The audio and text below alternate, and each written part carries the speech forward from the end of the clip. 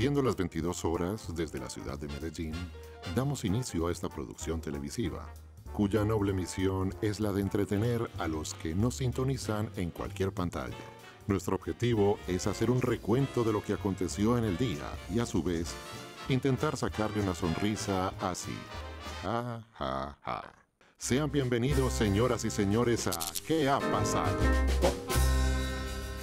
Esto es ¿Qué ha pasado? E iniciamos con un fuerte aplauso del público que nos acompaña en la noche de hoy. Bienvenidos.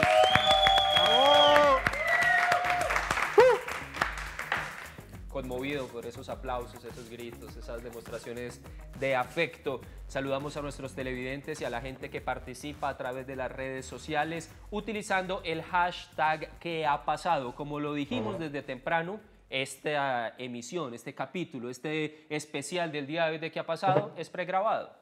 O sea, que en estos momentos posiblemente nos estamos viendo a nosotros mismos y tocando, no mentiras, y, eh, y no, eh, siendo muy objetivos y críticos con lo que estamos observando. Eh, saludamos también a Daniel Palacio. ¿Cómo estás, Daniel? Bien, Peña, muchísimas gracias. Muy feliz y debo aceptar una cosa. Acéptalo. Es que hoy estoy particularmente nervioso con este programa. ¿Por pero, el invitado? Sí, ¿Por espero. qué?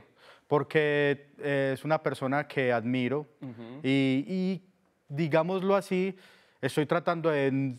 Yo no soy muy hincha del fútbol, Sí. Pero es un personaje de admirar y, y yo sé que hay muchos hinchas que quisieran estar en esa posición y poderle preguntar muchas cosas. Entonces espero, hinchas, no defraudarlos y hacer buenas preguntas para que pues resolver dudas que la gente le surjan sobre él. Muy bien. ¿Tenés algún panda saludo para dar? ¿Algún panda saludo? Bueno, quiero aprovechar, eh, quiero saludar a mi hermano, que estamos enojaditos. Ah, si me ¿sí? está viendo, te quiero, Julián, sí. Yo también te quiero, Julián. Eh, muchachos, no peleen, muchachos. Ah. Muchachos, no peleen. Eh, yo quiero saludar a Daniel Chun. Chun. Daniel Chun. Daniel es coreano. Posiblemente el único coreano que nos ve. Posiblemente. No sé si el único asiático. No sé. No sé si el único oriental. No sé. Pero él nos está viendo, así que un saludo para él. Para Daniel Chung, que tiene un nombre de asiático, ¿cierto? Sí, él no se llama nombre- Daniel. Daniel es para que nosotros entendamos eh, o para que se nos facilite nombrarlo, pero él tiene otro nombre. Así que un saludo para Daniel. Bueno, empecemos, eh, señoras y señores, con la tendencia del día. 70 años del Rey de Copas. Sí, señor. Hoy, vean lo que son las coincidencias de la Las vida. casualidades, Las los azares de la casualidades. Hoy está cumpliendo años eh, Atlético Nacional, que se fundó en el 47. Eh, un señor, Alberto Lopera, era un- se le ocurrió, dijo, ve, ¿por qué no fundamos un equipo que fomente en ese momento eh, la práctica de fútbol y baloncesto? Ah, sí, también baloncesto. Sí, y, y se dio a la tarea de recoger 50 mil pesos. O sea, yo estoy seguro que con lo que usted tiene en la billetera en este momento, Peña, podría haber fundado No Nacional. tengo billetera. Hace 70, en bueno, estos en el bolsillo. En el bolsillo. A ver. Eh, 50 mil pesos, y como era un poco de plata hace 70 años, eh, hubieras fundado cuántos nacionales? Uy, Medio. Pongo 2000. Pongo 2 mil. A eso iba. Entonces era muy difícil conseguir 50 mil pesos y lo que hizo él fue que eh, recogió 500 socios. 500 socios que aportaran de a 100 pesos cada uno. O sea, en estos momentos yo hubiera sido el, el socio, El socio mayoritario. porque Y tengo 2.200 Las pesos. cuotas de acciones se, se pagaba por cuotas. Para poder entrar a ser accionario tenías que pagar 20 pesos y el resto lo ibas pagando. Y así se fundó el Club Atlético Municipal de Medellín. Inicialmente llamado Así, así. se llama. Y eh, digamos que ahí, se empezó, ahí empezó la historia de este club. Luego se fusionó con un equipo que ya jugaba en la Liga Antioqueña, que se llamaba el Club Unión. ¡Pum! Y esa fusión ya resultó el Club Atlético Nacional, conocido hoy como el Rey de Copas, sin ser eh, ¿cómo es? arrogantes, pues es el equipo de Colombia que tiene más títulos nacionales e internacionales. Y parte de esa proeza es gracias a nuestro invitado de la noche de hoy. Sí, señor. En su administración, pues eh, muchos Ah, es, títulos. es el presidente más ganador, más- creo que del fútbol colombiano. Del también. fútbol colombiano incluso, tremendo.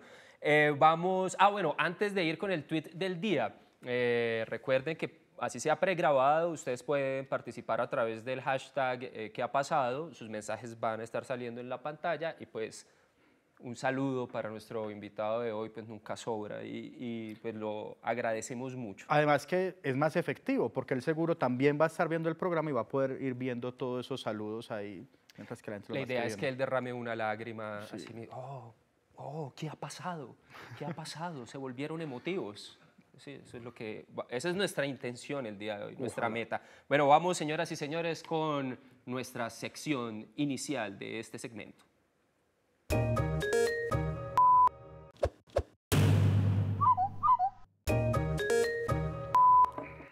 Manuela García Gil dice lo siguiente. Ah, bueno, antes de leer el tweet del día, pues uno abusa de los, de los practicantes y uno les dice, bueno, eh, por favor busquen en las redes sociales algún tweet. Entonces, eh, Luisa y em, Santiago encontraron este tweet que dice lo siguiente, Manuela García Gil, por mi salud mental necesito mi dosis de alegría de qué ha pasado. Y queremos saludar también a Manuela. Muchas gracias, Manuela, porque ella es una televidente asidua de este eh, programa. Ella siempre participa, comenta, escribe tweets, así que un saludo y un abrazo para ella y un agradecimiento para ella. Es que podemos decir que, que ha pasado tiene clientes fieles. Yo he visto y hay una Sí, sí, serie sí. de televidentes que, que su dosis diaria, de, de siempre están ahí y un saludo para todos ellos. Un abrazo de parte de qué ha pasado. Yo ya soy parte de qué ha pasado Sí, por claro días, sí. entonces yo me agrego a ese abrazo. Y recuerden que eh, la semana que viene, Semana Santa, sí vamos a tener programa, vamos a tener eh, tres programas el lunes, martes y, mi- y miércoles y también vamos a tener repeticiones de jueves a domingo. No nos vamos a ir, vamos a estar ahí con ustedes. Entonces, Qué bueno. Lunes, martes y miércoles. Y Porque- también tiempo fuera, ¿cierto? Sí, señor, también lunes, martes y miércoles tenemos programa normal a las 6 de la tarde y hay repeticiones los días santos que llaman. Y pues qué bueno, para que no vaya a haber eh, síndrome de abstinencia, porque se pierdan qué ha pasado. Muy bien. Eh, Daniel, llamamos a nuestro invitado. De una vez. Sí, Estamos hablando mucho, ya, bueno, ¿dónde está pues? O esperamos. ¿Qué hacemos? O sea, generamos tensión. Generemos... No, eso, eso generemos se llama tensión. tensión dramática. Generemos tensión. Ve, hoy al mediodía me pasó algo muy bueno, muy particular. Yo terminé de almorzar y una niña estaba haciendo la fila para pedir su almuerzo. Y me dijo, hey, vení, ¿te puedo hacer una pregunta? Y yo, sí, ¿qué pasó? Es que, ¿dónde puedo descargar WhatsApp? Y yo, ¿qué? Sí, WhatsApp, ¿dónde la puedo descargar? Y yo, ah, claro, la aplicación. Y yo, me dijo, sí, sí, es que, es que uno a veces la embarra mucho. Y yo, ah, sí, Guarap, vamos a ver si la podemos desarrollar. Si ustedes no saben, señoras y señores, de qué estamos hablando, esto es Guarap. Le voy a escribir que la amo mucho, que la amo mucho, que no la dejo de pensar y que así está estrenando novio. La amo, la amo. ¿Esto, esto por qué no envía? Por tu alto estado de ingesta etílica no lo recuerdas, pero instalaste en tu móvil WhatsApp. WhatsApp se basa en tres síntomas para bloquear tu smartphone. Torpeza al textear, aliento de alcohol con su sensor etílico. Y Siri reconocerá si hablas enredado. Gracias, gracias, gracias, WhatsApp. Tono de voz no asimilado. WhatsApp, la aplicación que no te deja enviar mensajes cuando estás pasado de tragos.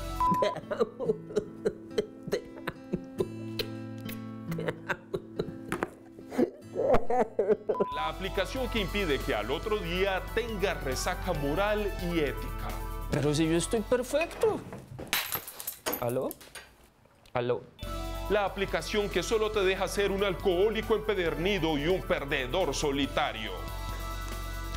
Le va a mandar un mensaje por Gmail.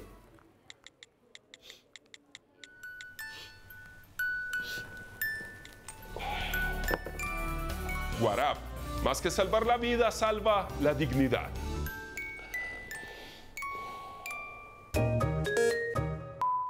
Es necesario, es necesario. Un saludo a la televidente entonces que me preguntó por la aplicación. Esta semana eh, estuvimos también en tiempo fuera con una serie de desarrolladores de aplicaciones de la ciudad y les mostramos WhatsApp. Y uno dijo, esto sería, Hay que hacerlo. sí, que es hacerlo. un éxito total. Si aparece es porque ellos nos robaron la idea. Señoras y señores, recibamos por favor con un fuerte, fuerte, fuerte aplauso al señor Juan Carlos de la Cuesta, quien ¿qué ha pasado?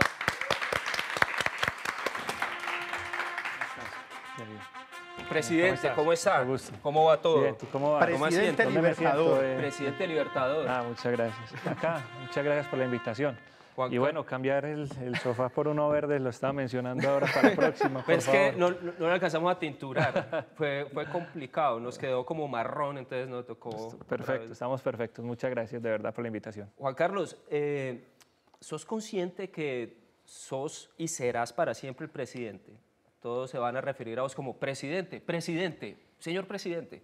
No, en realidad sí, eh, conscientes de, de la labor que, que desempeñamos y de eh, las manifestaciones de cariño y aprecio de toda la gente, la hinchada, los colaboradores, jugadores y, y bueno, la verdad, con todo respeto, eh, lo digo es que sí me he ganado pues un cariño de ellos y me lo han transmitido de esa forma y bueno, eh, esperar saludarlos cuando los vea a todos. Claro que sí. Bueno, presidente, sí, presidente, eh, ¿cómo un contador, por eso digo que es contador de profesión, termina al mando de, de una de las instituciones deportivas más importantes del país? Bueno, yo creo que son oportunidades que le va dando la vida a uno. eh, uno, pues digamos, se va especializando en algunos sectores. Yo tuve la oportunidad de trabajar en una firma de auditoría de Price, Waterhouse, de ahí pasé a, a Postobón. Cuando estaba en Postobón era revisor fiscal de, eh, de Atlético Nacional y de varias compañías pues, del grupo. Y de ahí me fui para trabajar a Interconexión Eléctrica de auditor financiero.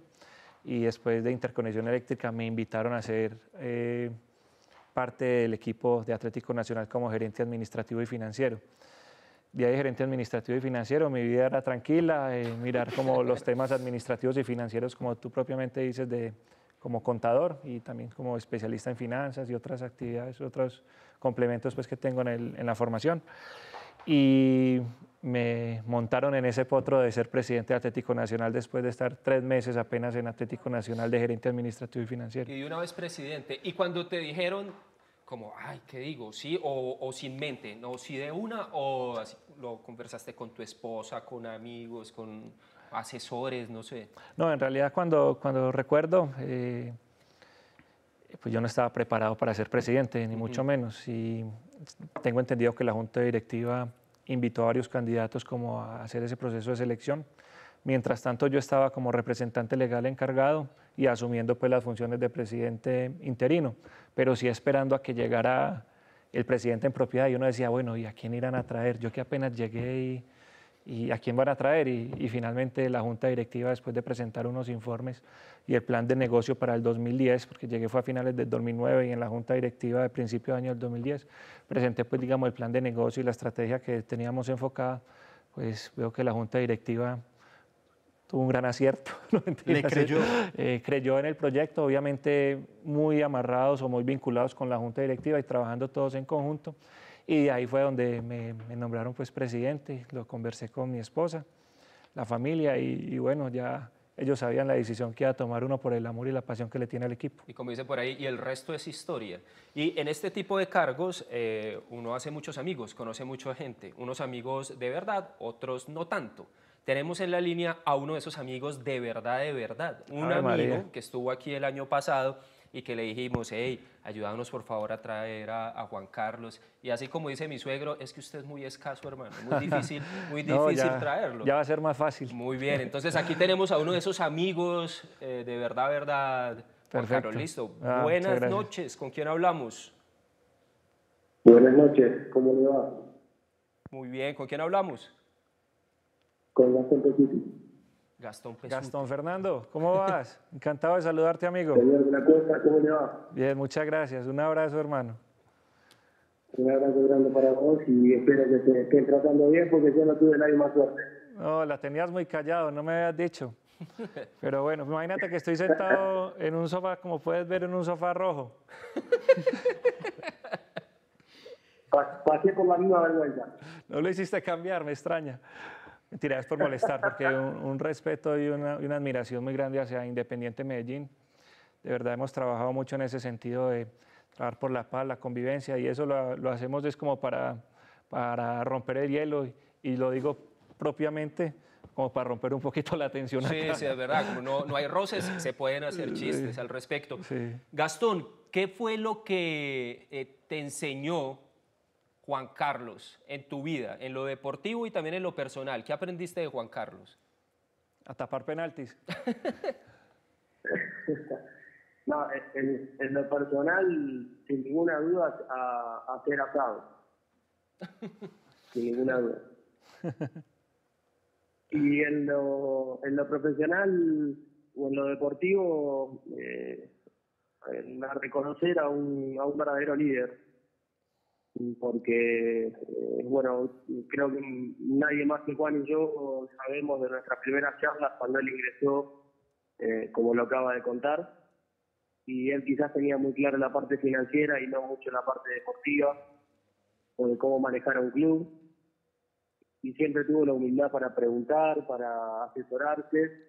Y, y bueno, y ahí fue creando esa personalidad de líder que creo que la tenía, pero la trasladó al, equipo de trabajo de Atlético Nacional y, eso creo que es lo que más aprendí de él, una, una forma de ser que que nunca se, se quiebra en, la, en, las, malas, eh, que, que siempre es respetuoso, que no lo ves eh, nunca fuera de, de sus casillas y, y, respetando por sobre todas las cosas a cada uno de los integrantes del club, no importa cuál sea su puesto. Y creo que, que eso es eh, también el mayor reconocimiento que hoy se ve Juan Carlos se está llevando del club, de, de, de sus pares y, y, de las personas que, como siempre digo yo, que hacen grande al club, que es el que abre la puerta muy temprano en la mañana hasta que limpia el piso una vez que se van todos los empleados. Muy bien, Gastón, muchas gracias por recibir nuestra llamada. Gastón Pesuti. Gastón Fernando, no, un abrazo, tú sabes todo lo que te admiro, te aprecio y te quiero, eh, siempre desearte lo mejor. Y bueno, yo creo que fue uno de los, de los jugadores cuando llegó, cuando estaba en el club, que él ya había llegado cuando yo llegué y cuando tuve esa oportunidad de empezar de presidente, eh, como lo decía Gastón, yo, bueno, yo como me reúno con los jugadores y yo veía a los jugadores como, pues si los veo todavía como ídolos uh -huh. y los admiraba mucho y sentarme yo en la mesa a hablar con los, con los más representativos del equipo, que en su momento recuerdo que era Gastón, era el viejo Patiño, también muy admirado y bueno, y aprender de ellos muchos porque la verdad, adicional a tener esa parte profesional tan, tan, tan desarrollada, eh, también ver esa parte humana de que son verdaderos seres humanos y eso es lo que yo más admiro en, un, en una persona. ¿Y llegaste a entrenar con ellos? ¿Alguna Juan Carlos, vez, dale, vamos a chutar. Alguna vez sí recuerdo que con el profe Juan Carlos, eh, en un viaje que estábamos en Brasil, si mal no estoy, eh, el equipo empezó a entrenar y yo voy a hacer un poquito de ejercicio por la mañana, un día previo al partido que teníamos, creo que era contra, contra Bahía. Eh, y, en, y, que, y me puse pues a entrenar ahí a trotar mientras el equipo jugaba o hacía pues su práctica y el profe Juan Carlos me, me invitó, es que si nos falta uno, venga, aparece acá. pues me defendía, pero sí levantaba, no, no vi el balón, pues corría detrás del balón. Por allá me acuerdo que, que, Alexander Mejía me pegó un cargazo que me tiró por allá. Ah, sí. Y bueno, no, eh, son anécdotas, pero la pasamos muy bien. Y después me puse a cobrar, y después la gallina calle Fabio, también que lo quiero y lo aprecio mucho. Es que, presidente, venga, ayúdeme mientras el equipo termina de entrenar, venga, venga, ayúdeme a, a chutarle balones a estos arqueros, a Franco y a, y a Neco, sí, a, y a Neco, sí y le dañé un dedo a Neco. Ah, Así que le pego duro al balón. ¿Ah, no, sí? Mentira, no, de, Neco se dañó un dedo y yo, ay, Dios mío, ya lesioné, ya lesioné a un jugador. El cañón de la cuesta. no, la, la, pasamos bien. Es entretenido, pues digamos, todas esas anécdotas, pero la verdad la, la recuerdo con, con, mucho amor y con mucha pasión hacia el equipo y la verdad un, un grupo muy, muy compenetrado, que es lo más importante, y una familia, que eso es lo que le queda a la institución y eso es lo que le dejamos a, a Andrés con todo el equipo de trabajo, de que tiene muy buen equipo y una familia deportiva muy importante. Claro, y con esos resultados es evidente eso, sí, que hay una claro. familia. Yo me imagino al presidente de, de, un equipo de fútbol como el rector de un colegio. Usted tiene unos profesores que ellos son los que encargan de llevarlo por el camino del bien, pero si algo más pasa, uno va a la rectoría. Hay o hubo durante su mandato algunos jugadores que tuvieron que ir a rectoría como, no, hermano, ya eso arregle con el presidente porque esa como una historia de esos que hay que empezar a guiar por el camino del bien. Sí, en realidad fueron varios. Ah. Eh, pero, no, que lo recuerdo con todo el amor y todavía sigo en contactos con ellos. Uno muchas veces se va volviendo hasta padre o papá pues, de, de- de estos jugadores y Claro. acompañarlos en todo ese proceso de formación. Más los jóvenes que vienen Ujú. en ese proceso de divisiones menores a equipo profesional y mientras se consolidan en el equipo profesional. Pero de verdad que es satisfactorio y lo recuerda uno con cariño y ellos también, eh, pues digamos, se- manifiestan, le escriben a uno, algunos que están en el exterior, otros que están acá en el mismo club o en otros clubes acá en Colombia, cuando supieron, pues digamos, o conocieron mi, mi retiro, todos manifestando, pues digamos, esa admiración y esa gratitud y eso es lo mejor que se lleva uno de ellos. No solo se manifiestan los jugadores, también aquí hay manifestaciones de afecto por parte de personas que nos quieren acompañar en este programa. Veamos. Presidente Libertador, hoy lo despedimos con un abrazo agradeciéndole por la entrega y el compromiso en el tiempo que estuvo al frente de la institución. Le agradecemos por llenar de gloria la historia de Nacional y por enaltecer el verde y el blanco. Este mensaje va para el Presi y en verdad queremos agradecerle inmensamente por todo, todo lo que hizo por nuestro equipo, porque queremos que en sus proyectos le vaya perfecto, así como lo hizo con Atlético Nacional, porque se merece todo, todo, todo nuestro respeto, nuestra admiración. Y ese es un saludo muy especial de esta hincha que tanto quiere al Atlético Nacional porque gracias a usted y a sus directivos y a esos excelentes jugadores nosotros somos cada día mejor. Esta hinchada jamás lo va a olvidar. Que esté muy bien y muchos, muchísimos éxitos en su vida. Mi nombre es Estefanía Díaz Mejía para que no se le olvide que esta hincha lo admira demasiado. Que esté muy bien. Chao. Juan Carlos Ay. Estefanía, para que no se te olvide. No, muy queridos, de verdad. Un abrazo para ellos. eh, yo creo que es lo mejor que me llevo, de verdad. eh, todas esas manifestaciones de cariño, de aprecio de la gente, eh, que nos entregamos con el alma y el corazón a, a un proyecto deportivo que es Atlético Nacional. De que esto si uno no tiene pasión, seguro que no gestiona bien. Esto se convierte en la vida de uno. Uno siete por 24 siempre involucrado con Atlético Nacional. Y ver esas expresiones, lo mismo que recibí en el estadio y todo lo que me envían los mensajes, seguro que eso es lo mejor que le puede pasar a uno. Y mi mamá se siente muy orgullosa de eso también. es más, más, más, me siento orgulloso Claro. yo de la admiración de ellos también. Además que uno le digan presidente, bien, pero presidente libertador, no, hermano. Vamos a un corte y ya regresamos. Un aplauso, por favor, para Juan Carlos de la Cuesta. Esto es ¿Qué ha pasado, señoras y señores? Recuerden participar a través del numeral o hashtag ¿Qué ha pasado? Este programa es pregrabado y bueno, pues aquí estamos con Juan Carlos de la, de la Cuesta. Les contamos que es pregrabado Y- porque, señor, que él está viendo en este momento está el viendo el programa, y programa, está sí. leyendo todos los mensajes. Ustedes síganle escribiendo mucho. sigan escribiendo, por Querido, favor. muchas gracias a todos. Eh, en mi época, ¿cierto? Uno conocía a los jugadores de fútbol y uno conocía a los equipos y hasta ahí. Y uno decía, bueno, este jugador es el, el, el ícono o el ídolo. Sí, sí, mucho se llegaba hasta el director técnico. Hasta el director técnico, sí. mucho. Pero, pues Juan Carlos, ahora como veíamos con los saludos de los, de los televidentes, sos un ícono del equipo. Bueno, no, eh, en realidad, no, en realidad, pues yo siempre he sido muy de, de perfil bajo y con los pies en la tierra. Yo, pues, digamos, el cargo sí lo asumía de la mejor forma y con la entrega, pero sin un afán de protagonismo, porque el protagonismo para mí debe ser de, de, de los jugadores y del cuerpo técnico y obviamente de la hinchada. Uno solo era un viabilizador de este proyecto y acompañaba, pues, digamos, todos los procesos como tal. Pero sí, pues, digamos, eh, amigos muy cercanos y la propia familia, ¿usted sí ha dimensionado esto? Sí. Y yo pues les he dicho, no, apenas me estoy dando como, como cuenta de, de, todo, de todo esto, pero No, en pero es realidad que- sí muy tranquilo con eso. Sí, yo no sé nada de fútbol, pero yo sé quién es Juan Carlos de la Cuesta. Eso quiere Ujú. decir que se ha hecho muy buen trabajo, ¿no? No, Ah, es bueno, verdad, lo confieso. me alegra mucho, pues, me alegra lo mucho. confieso. Bueno, hablando de iconos, hay una foto icónica. Yo creo que puede ser la foto más famosa de Juan Carlos de la Cuesta y es la foto durmiendo con la Copa Libertadores. Eh, No eso, o sea, eso salió así espontáneo, como listo, yo tomémonos esta fotico que se ve graciosa Sí, y a ver ¿Hubo qué pasa. preproducción para esa foto? No, nada, Eso fue ahí si me hubiera enterado lo hubiera arreglado, pero ya, ya les cuento la, la historia.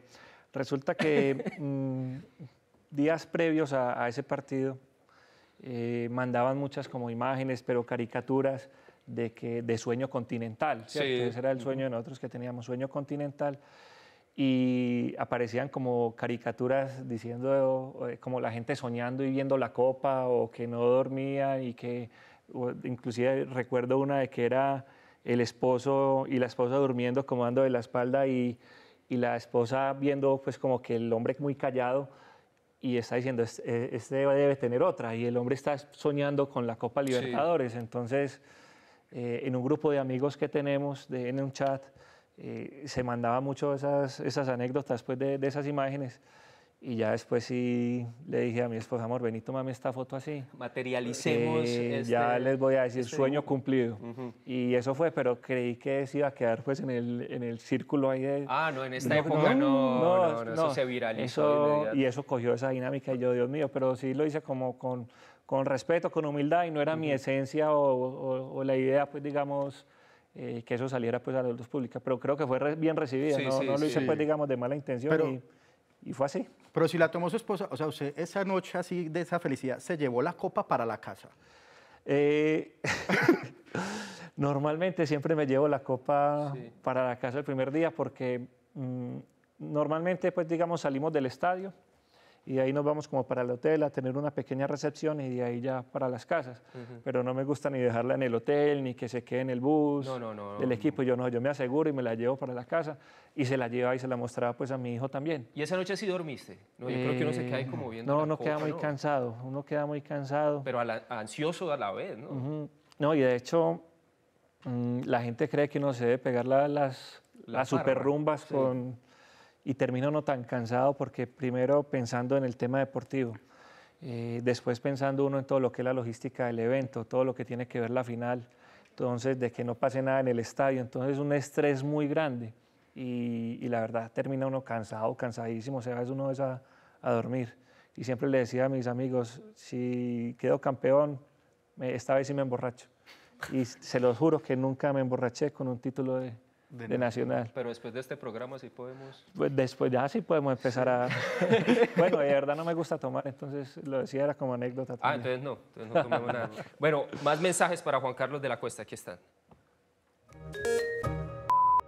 Hola Presi, ¿qué tal? Te habla Santiago Flores, te quiero agradecer, te quiero saludar eh, y reconocer el trabajo que hiciste, la entrega, la pasión con la cual fuiste presidente del club más grande de Colombia.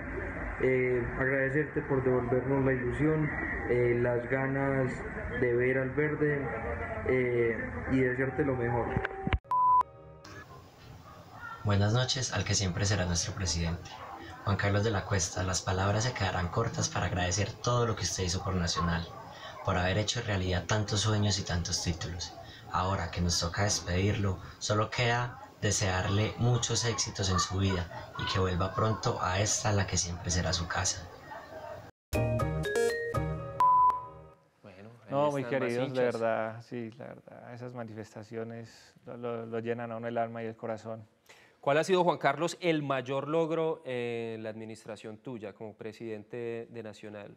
Quizá, bueno, hay unos que son muy conocidos, obviamente, pero pues podríamos decir, eh, bueno, la Libertadores, pero quizá unos que, un, un triunfo que no sepamos. No, miren, yo pues digamos, eh, con el equipo de trabajo y con la junta directiva nos habíamos trazado algunos, algunos objetivos. Obviamente ser el mejor de América, que lo logramos, y ese título de la Libertadores, la verdad, eso es una satisfacción y se quita uno un peso de encima muy grande también, digámoslo de esta forma. Pero más que eso era generarle y devolverle como a la afición ese sentido de pertenencia por el club, el amor por el club, tener un equipo consolidado desde lo administrativo, financiero y también una sostenibilidad deportiva en el tiempo, porque muchas veces cuando un equipo queda campeón, eh, lo digo con el respeto, lo- muchas veces lo desbaratan, ¿no? la misma dinámica del mercado internacional eh, daba para que el club, el jugador, los jugadores fueran vendidos y los clubes no lo pudieran retener. Entonces, trabajar en eso, en la sostenibilidad deportiva del club, en, en la sostenibilidad financiera, la autosostenibilidad, y fuera de eso, pues digamos, eh, la alegría, darle la tanta alegría a la- a nuestra hinchada.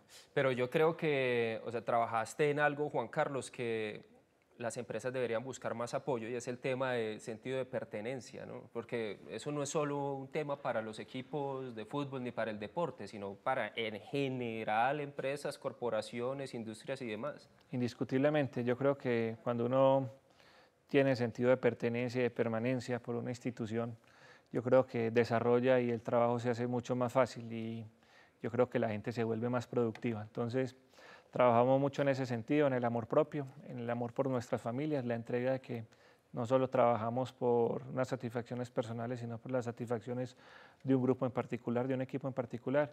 Y eso es darle, llevárselo, trasladárselo a toda nuestra hinchada, que es lo que queríamos. Tenemos tanto presupuesto en este programa que, que ya tenemos computador. Apareció un computador. porque traemos a Juan Carlos de la Cuesta. Necesito comprar uno ya. ¿En serio? Ahorita negociamos. Pero ya lo dijo, pues la Libertadores como gran logro eh, de los que se pueden ver, sí. Porque al interior de, de la organización pasaron muchas cosas. De pronto quedó espinita con lo del Mundial. Hombre, la verdad, yo sí tenía todas las esperanzas de ganarlo. Por supuesto, sí. por supuesto, claro, uno quería esa, ese, ese Mundial de Clubes y la verdad trabajamos para ello y creo que teníamos equipo para ello.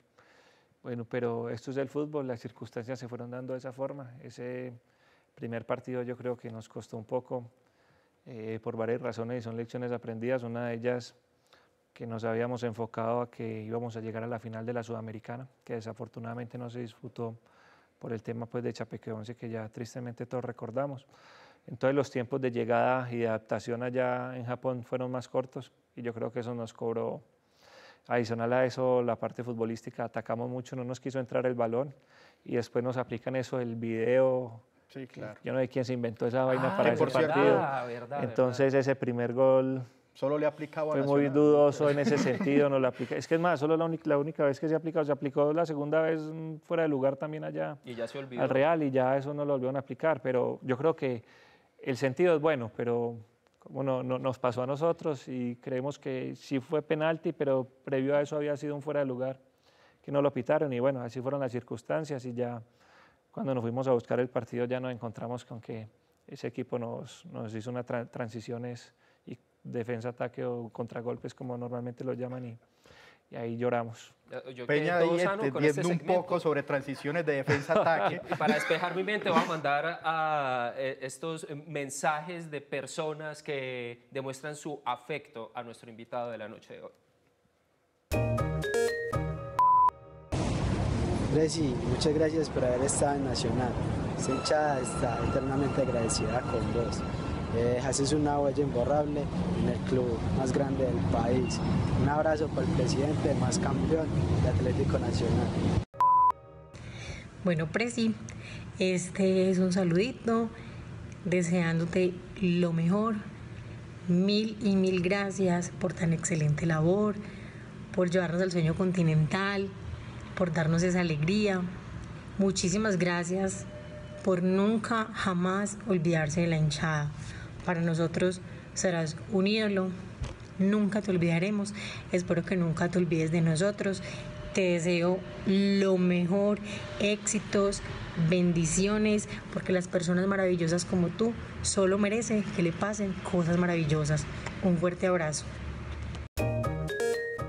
Eh, qué bonito eso, ¿no? Sí, es que lo dejan a uno sin palabras de verdad y lo ponen uno aquí a, respirar y a... con nudo en la garganta. La verdad que sí, la verdad que sí. Y, créeme que uno a nivel de, directivo... Pero tenemos agüita, pues. No, agüita, ahorita me la echo encima.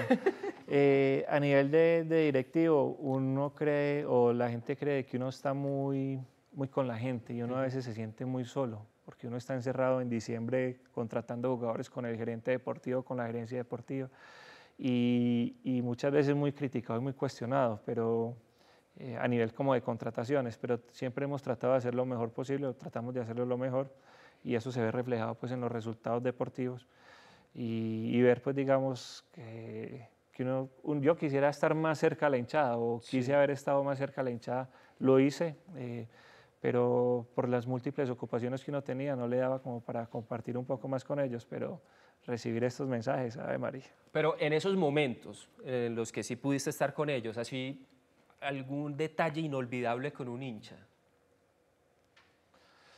No, recuerdo mucho. Que lo vean como un papá o algo así. No, la verdad, pues muchas, muchas anécdotas, no solo acá en, en Medellín, pues en, en la ciudad, eh, en el exterior también mucha gente tratando de saludarlo a uno, conversar con uno, que le firme uno la camiseta. Qué increíble eso, ¿no? Que, que le cambiemos, que cambiemos las camisetas, los buzos o las chaquetas, lo que tuviésemos. También una experiencia muy bonita cuando íbamos a, en el estadio. A mí me gustaba mm, frecuentemente o regularmente ir a las tribunas, ir a las tribunas. Pues uno sabía cuándo, obviamente, cuando íbamos ganando, cuando las cosas estaban bien, porque si uno se metía Vamos ya cuando- 4-0, vamos ¿Qué 4-0. pasa? ¿Qué pasa, Presi? ¿Qué pasa con el equipo? No, ya era cuando las, pues saber uno Ujú. cuándo tiene esa posibilidad de ir y tener una mejor interacción. Entonces ir a todas las tribunas, a saludar a la gente, compartir con ellos. Y una anécdota que eh, estaba en Oriental y muy chévere que llegué y todos muy contentos y yo también feliz allá. Y fotos, que necesitaba una foto, una cosa a la otra y yo tenía que ir a acompañar un saque de honor y ya estaba que empezaba el partido, ya, ya está saliendo la gente, no, venga la última foto, y yo no soy capaz de negarle una foto a nadie, pues en realidad. Entonces... Eh, eh, eh, eh, acuérdese de esa frase, era cuando se terminó el programa. Sí, sí, de la foto, no, con mucho gusto. ¿Y qué? Y, y me tocó fue salir corriendo. Le digo, yo ahora vuelvo en, en mitad de tiempo y nos terminamos de tomar las fotos y salí Y sí. corriendo al saque de honor, vimos el primer tiempo y otra, Y otra vez, sesión de fotos. Presidente, Viajaba mucho con el equipo. Sí, casi Siempre. siempre. casi Bueno. siempre. Nos rotábamos un poco con el gerente deportivo para no tener tanto problema en la casa o al menos de estar un poco más con la familia. Entonces, Claro. normalmente a nivel local nos rotábamos un partido uno, un partido el otro, nos combinamos de acuerdo, de- dependiendo de las ocupaciones y ya los partidos internacionales sí procuraba estar siempre con ellos. Es que a los futbolistas, eh, yo he visto por ahí en programas y cosas que les sirven un viajado cuando, pues, porque viajan con su cocinero y todo eso. Usted también comía conforme a, a futbolista. Eso era, eso era un problema gigante, porque obviamente la parte de nutrición es bien importante para nuestros jugadores, nuestros atletas, y nosotros queríamos comer igual a ellos, pero ellos Para hacían, la línea. ellos hacían el ejercicio y quemaban todas esas calorías en la práctica y en el partido. Y usted. nosotros para arriba en los kilos, entonces empezamos a, a cuidarnos también y a comer un poco más, más mesurados, pero sí, ellos se alimentan muy bien, pero no viajamos con, con, con chef, ¿no? No, no, el- eso es lo- mito. Lo, nutrición, bueno, no, nunca, yo recuerdo, nunca en, en lo que yo estoy viajamos con chef. Si era que el área de nutrición de, de Atlético Nacional sí coordinaba con, eh, con los hoteles, todo lo que tenía que ver con el menú y el médico del equipo era el que validaba de que todo se cumpliera como la minuta, pues digamos, de, de la dieta del atleta. Ahora hablaste, Juan Carlos, de esos cambios de camiseta con los hinchas, con los seguidores, eh, con las personas que se sienten cercanas a- al equipo. Y Chicho estuvo en Chapecó y esto, esto es casi documental lo que le pasó. Esto fue grabado en caliente, un gesto muy bonito de una persona de allá. eh, y, y esto le pasó a Chicho, muy, con mucha suerte corrió Chicho estando allá. Vean lo que le pasó con un taxista.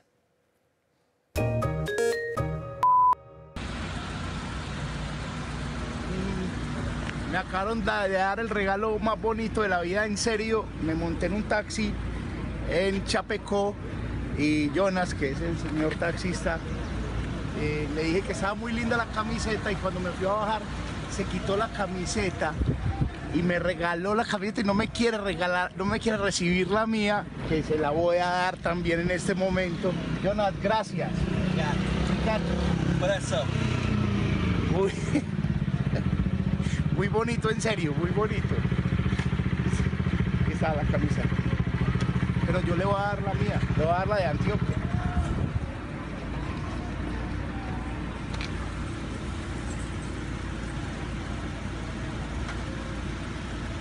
Antioquia.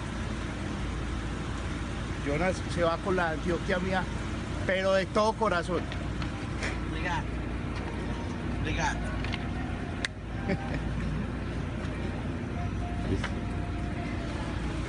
Hizo camisa de chapé. Vai servir? Um abraço. Obrigado, Obrigado. Chao, Jonas. Tchau, abraço. muy loco, muy loco todo.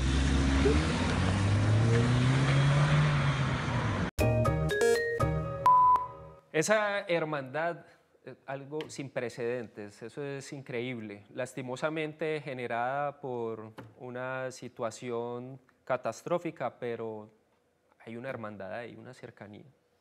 Sí, así es. Yo creo que mm, nos unimos para las cosas buenas y también para las dificultades que se presentan. Y creo que eh, era un gesto que teníamos que hacer muy genuino con, con el pueblo brasilero, con el equipo chapecoense y con la ciudad, donde en el mismo momento donde sucedió la tragedia estuvimos acompañándolos desde todo punto de vista. Y bueno, después de haber tomado la decisión en junta directiva de que se les solicitara a la Conmebol de que le entregaran el título a ellos que lo necesitaban más que nosotros y como un gesto pues de hermandad y de colaboración.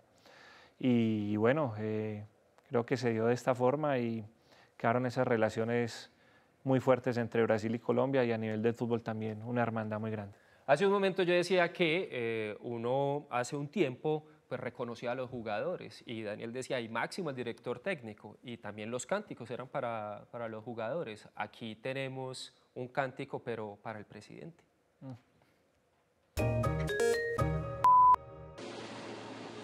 Presi, ¿cómo estás? Eh, te quiero mandar un saludo y un abrazo y decirte que mil gracias por todos estos años de gloria que nos has dado. Que gracias a ti volvimos a conquistar el continente. Presidente de la cuesta, no te vamos a olvidar. El más grande de la historia, nadie te puede igualar. Un aplauso para Juan pues, Carlos. Canta muy bien, muchas gracias. Eh, queremos agradecerle a Daniel Bermúdez y a Julián Andrés Pulgarín que nos ayudaron a recopilar todos estos gracias. saludos. No, bueno. ellos son los practicantes que están, Ah, pero están bueno. como todos emocionados con, con la visita de Juan Carlos. No demora Bueno, en salir el trapo con Sí. la cara del presidente. Estoy casi No, seguro ya, que sí. ya, ya es suficiente así. No, no, no me pongas más emotivo. Muy bien. Y estaré pues obviamente yendo al estadio, que seguro que el hijo mío eh, se, se volvió muy hincha de Nacional, nació en el estadio pues prácticamente. Claro. Y era una de las preocupaciones que tenía, que si íbamos a volver a ir a fútbol. Y yo pues obviamente, antes vamos a ir, yo creo que, que, que más seguido y buscar pues digamos esos espacios para que él pueda compartir con, con, con Nacional y el fútbol. No Muy quedó bien. con abono vitalicio. No me lo han dado, lo estoy esperando. Ey, pilas pues a uno vitalicio, es, es una deuda. Eh, señoras y señores, vamos a un corte y ya regresamos aquí en ¿Qué ha pasado? Recuerden, numeral ¿Qué ha pasado? para saludar a Juan Carlos de la Cuesta. Continuamos en ¿Qué ha pasado? Eh, recuerden participar a través del numeral ¿Qué ha pasado? Eh, hoy estamos con Juan Carlos de la Cuesta y queremos también agradecer a Marcela, la señora esposa de nuestro invitado, y a Felipe Muñoz que bueno, movieron todos sus contactos para poder traer aquí a Juan Carlos. Gracias, y gracias por estar con nosotros. ¿Verdad que el programa no, es- no está tan No, está muy chévere, lo estoy pasando muy bien de verdad. Ah, Muchas bueno, gracias. siquiera. Bueno, ahorita hablamos del tema de emotividad y hay como momentos de partidos que se vuelven también historia por, por ser muy emotivos. En estos días vi a un compañero muy hincha, la persona más hincha nacional que conozco, que se llama Camilo, editor de acá, con una camiseta que plasmaba el minuto, el gol del minuto 94 de Orlando. Berrío, como un momento histórico. ¿Algún momento de esos emotivos históricos que recuerde así no se me va a borrar nunca? No, ese, yo creo que ese es uno de los, de los momentos que más recordamos por la trascendencia del gol, de, por la dinámica que se ha dado en ese partido. Y, bueno, gracias a Dios se pudo concretar de esa forma y lo celebramos, pues digamos, con una locura tremenda. Ese fue, yo creo que uno de los más recordados. Otro muy bonito fue cuando estamos jugando contra Junior, la final, si mal no estoy, del 2014. eh, y allá habíamos perdido, si mal no estoy, 2-1. Y acá hicimos el gol, nos empataron de una al rato y na- remando, remando, el equipo jugando, llegando, Junior encerrado. Y finalmente en el minuto, no sé si 93 o 90 y- 94, 92, pero ya era en tiempo de reposición, eh, en un tiro de esquina, eh, hacen el centro y John Balo y no sé cómo cierra los ojos y le pone la cabeza y ese balón centro y eso nos dio vida después para irnos a los penaltis y con eso ganamos pues ese título. Entonces, Además que estaba la espinita con Junior de algo similar años atrás. de acuerdo, el, del 2004. Sí, así fue. Entonces fueron momentos muy bonitos, pero eh, si nos ponemos a recordar más, yo creo que nos quedamos acá, pero la verdad esos son como los más, lo más recordados. Los más intensos al menos. Muy bien, más saludos para nuestro invitado de la noche de hoy. Carlos, le, le damos las gracias por haber pertenecido a esta gran familia, por habernos regalado tantas alegrías, por siempre estar con la hinchada, con, con todos y por haber sacado Nacional como un gran campeón, campeón continental. Su labor nunca será olvidada, siempre será el más grande presidente que hayamos tenido y le deseamos la mejor de las suertes en todos sus proyectos. Un abrazo. Bueno, y sea cual sea el proyecto que viene para Juan Carlos, haciendo un paréntesis, su esposa no está muy contenta. Como, eh, por fin lo va a tener. Yo creo que ya.